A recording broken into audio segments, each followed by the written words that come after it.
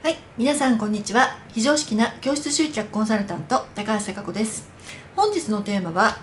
遠慮は美徳か否か迷宮スパイラルから抜け出せる考え方ということについて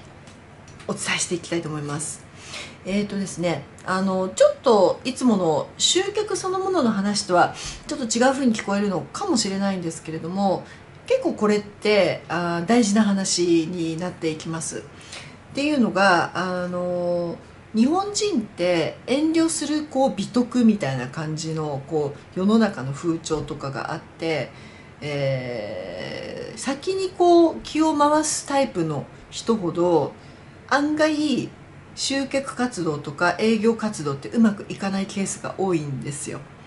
でそのケースがここのとこ何件か、まあ、クライアントさんとお話をしていてうん発覚をしたっていうかあった事象があったんで今日はそこをポイントにしてお伝えをしてみたいというふうに思っております。はい、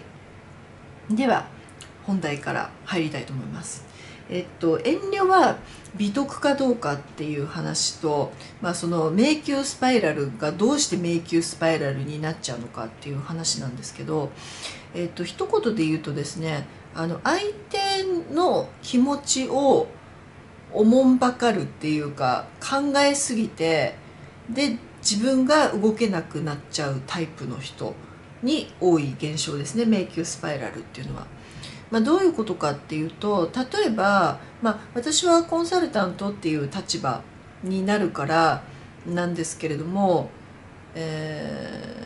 本来は遠慮っていらないんですよだってお金を払っているわけだし私に質問をしてでそれによって自分が早く解決策の道筋を見つけて次に進むことの方がよっぽどいいわけなんですよ。だけれども例えば遠慮する人ってどういう思考になるかっていうとあの、まあ、いろんなタイプがいるんですけど例えば一つ目はこんなこと聞いたらそんなことも分かんないのって思われる自分が嫌だ。まあこれ自分の自尊心っていうか恥ずかしいっていう意味なんですけどね。で私ねそのあたりないんですよ。だってどうせ知らないことを聞くためにコンサルタントがそこにいるわけだからそこであのババカじゃないって仮に思われたとしてもですよ。言わないですよ。私のコンサルの先生とかも。言わないけど仮にそう思われたとしたって知らないんだから知りたいからしょうがないから聞くんですよ。だからそこには恥とか恥ずかしいっていうのはなくてもう開き直りに近い「すいません知らないんで教えてください」っていうのをサクッと私は言えるタイプなんでそういう意味で得だなと思っているんですね。だって分かんないことは分かんないから。でそこでバカだなって言われても分かんないからしょうがないから聞くんですよ。っていうのができない人が案外多いですね。そういうふうに思われるのが嫌。だから多分優等生タイプとかうーん。人の目線をすごい気にするようなタイプの人はこれできないですよ。あの分からないことを分からないですと言えない。そして聞けない。そうするとどういうことになるかっていうと迷宮スパイラル入りなんですよ。分からない。聞けない。でも一人で解決もできない。どうしようわからない聞けないっていうこのぐるぐるぐるぐる回ってどういうことになるかっていうと例えば1ヶ月後とかに私と話をする時にそしてどうなりましたかっていうと「いやずっと考えてて」とか言ってそうすると私が「えー、なんでずっと考えてたんですか?」とかになっちゃうで理由は大体そんなところだったりするんですね。いやこんなこと聞いたら先生の忙しい時間を奪ったらいけない。いやいやいやコンサルタントってそれ仕事だからみたいな感じであの気使ってくれるのは悪くはないんですけど私にとって一番嬉しいのはクライアントさんがちゃんと自分の課題を自分で向き合って見つけて改善策を分かり行動でそれを打破していくこと。これが私にとって一番嬉しいことなんであの聞くことを遠慮されるとむしろ困る。嬉しくない。だってその人成長しないしていうか現に迷ってるし1ヶ月何もできてないじゃないですか。っていう状態になっちゃうからあの迷宮スパイラル入っちゃいけないんですよ。だから恥とか恥ずかしいとかそういうのはまずはいらないっていうところですね。これがだからその自分が恥ずかしいっていうところ。だから美徳じゃないっていうことなんです。でもう一つは例えばこれお客様がねどう思うかっていうのをあの聞いてみてくださいとかってリサーチ上あるんですよ。でそうすると、まあ、よく言われるのが「いやそんなこと聞いたら迷惑だと思うんで」って言うんですよね。でまあ確かにいやそんなこと聞いたら迷惑ですよっていうことは私も指示出さないですよさすがに。だけどいや意見聞きたいだけだからえなんで迷惑だと思うんですか？って逆に聞くと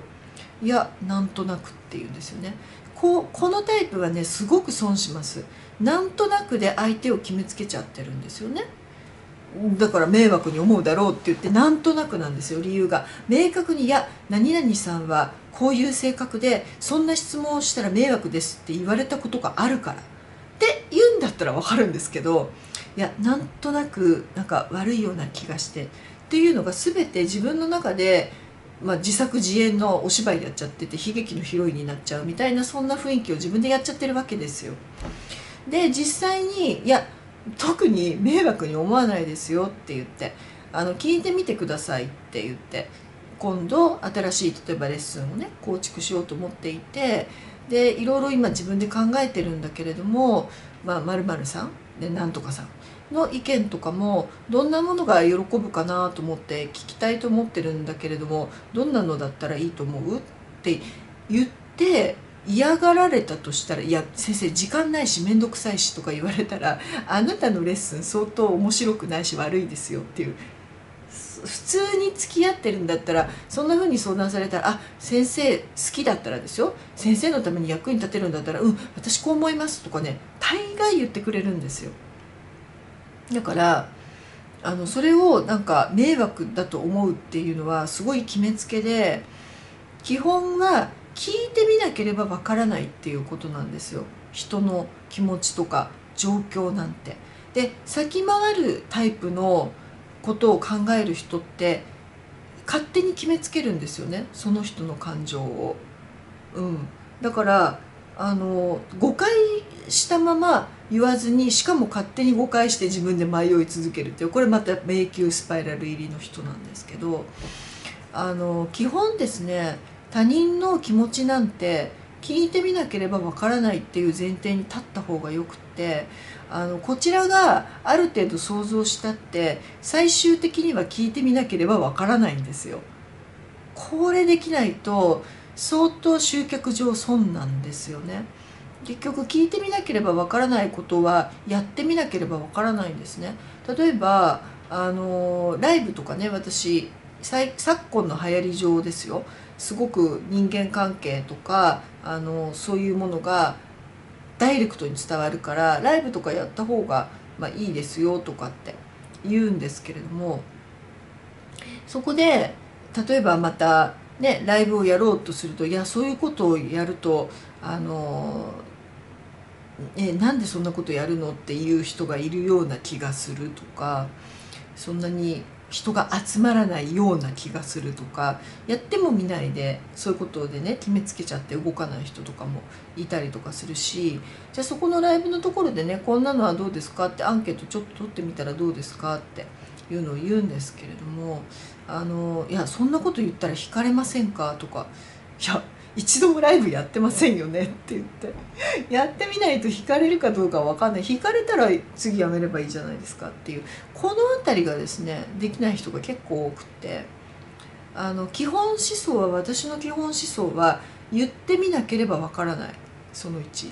やってみなければわからない。その2これが私の基本思想なんでうんまあこれもしかしたらいまいちかもしれないけどっていうのは想像はしますよ。しますけど最終決定をするっていうかけあのジャッジメントをする上で判断をする時にはやってみてから必ず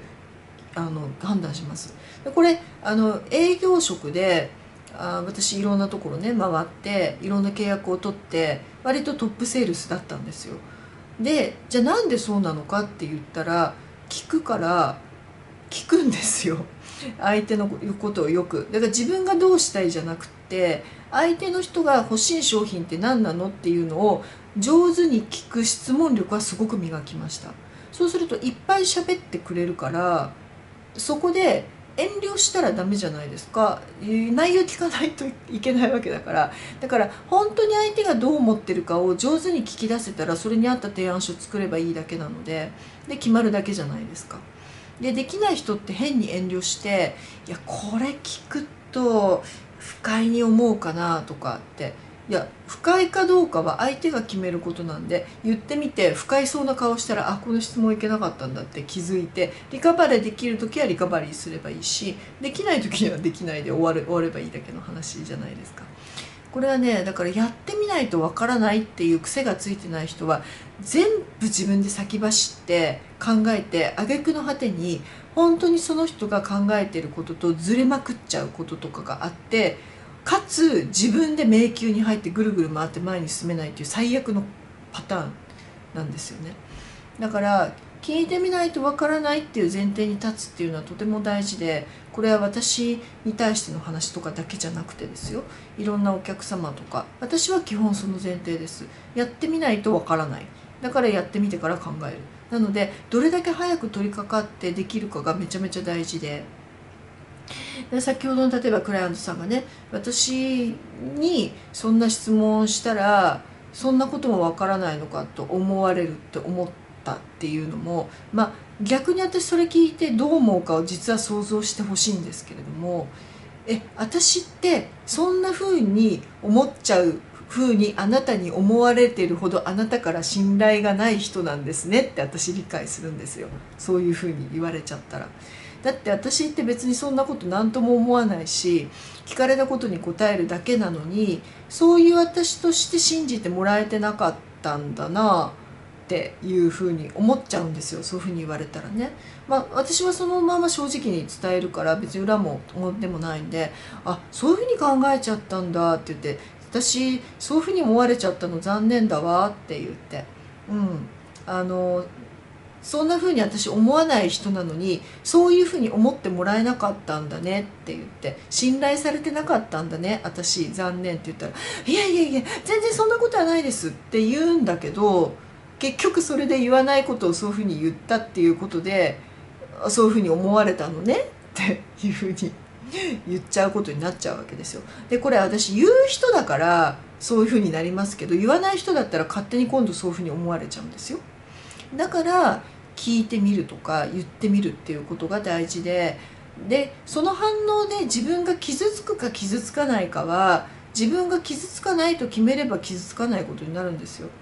じゃあ例えばなんだろう変なこと言って嫌われたらどうしようっていう人は大体ねそんなことを想像するから大体嫌われちゃったりおどおどしちゃったりするからそういうことになるんですけれども嫌われるかどうかは言ってみて嫌われてから考えればいいんですよ。ちょっと乱暴なこと言ってますけど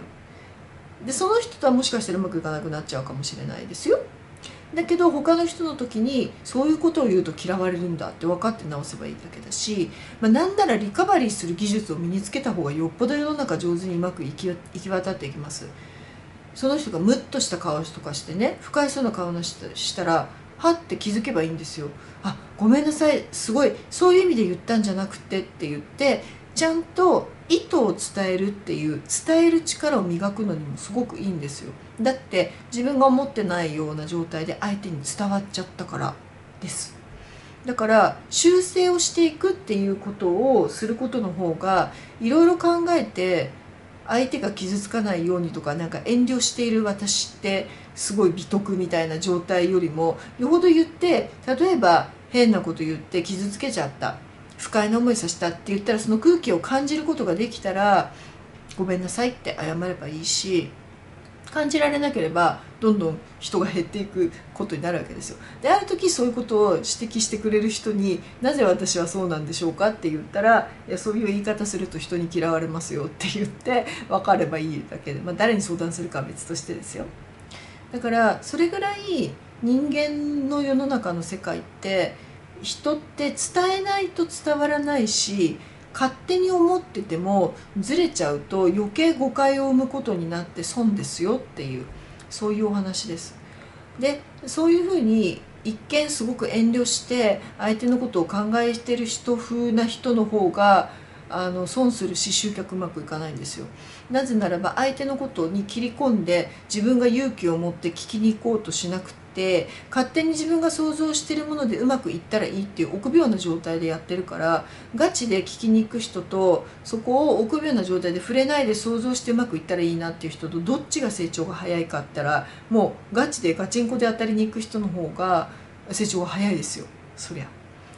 なのでその辺りが苦手な人は特にですねあの聞きもしないで一人で勝手に迷う傾向があるのでそこから抜け出せるあのポイントとしてはもうそう思ったらその人に実際にどうなんですかって聞いてみるっていうそこがポイントになってくるっていうのをちょっと知っててほしいなと思って今回ねお話をしています。ということでまとめるとえー、遠慮は美徳か否か迷宮スパイラからスパイラルから抜け出せる方法考え方というのは、えー、聞いてみ1つ目聞いてみなければわからない。2つ目やってみなければわからない。全部行動に変換しないとその先がないんですよ。なのであのー、ぜひですねこれって言ったらこういうふうに思うかなと勝手に思うぐらいだったら言ってみてから考えた方がいいです。でそれで品種を買ったらリカバリーしていくっていう技を身につけた方がよくってでその技を身につけてるうちにそのうち品種を買うようなことを言わなくなるんでそちらの方がよほど成長が早いですということで、えー、今日は遠慮っていうのは別に美徳でも何でもありませんっていうお話をしてみました。ご参考になさってください。それでは